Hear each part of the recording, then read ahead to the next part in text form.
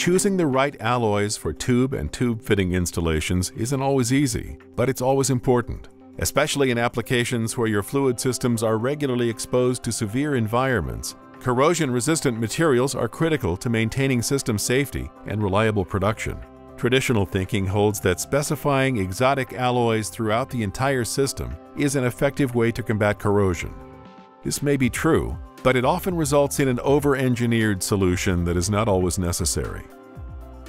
Instead, rather than using tubing and fittings of the same alloy material, engineered combinations of high-quality Swagelok tube fittings with more robust tubing alloys can result in a cost-effective, high-performing solution.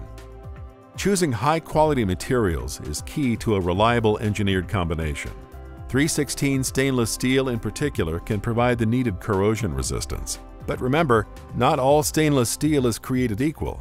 Most stainless steel is formulated with nickel and chromium levels at the lower end of the ASTM requirements. This leaves them more susceptible to corrosion. Higher quality stainless steel can help prevent common corrosion. Swagelok has maintained chromium content in its 316 stainless steel tube fittings at a minimum of 17% and nickel at a minimum of 12% for many years. To validate the performance of its 316 stainless steel, Swagelok has completed extensive chloride stress corrosion cracking testing on its own fittings and those of other brands.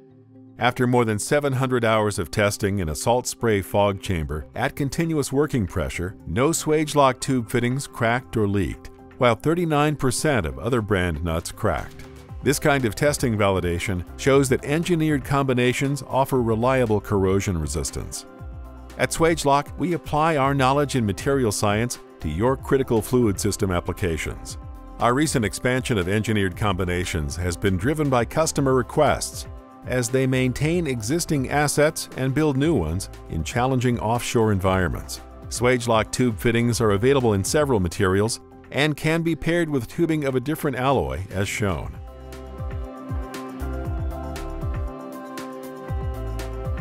Whether you need an engineered combination with 316 stainless steel or with other alloys, we can help with combinations that have been evaluated for all aspects of metal compatibility.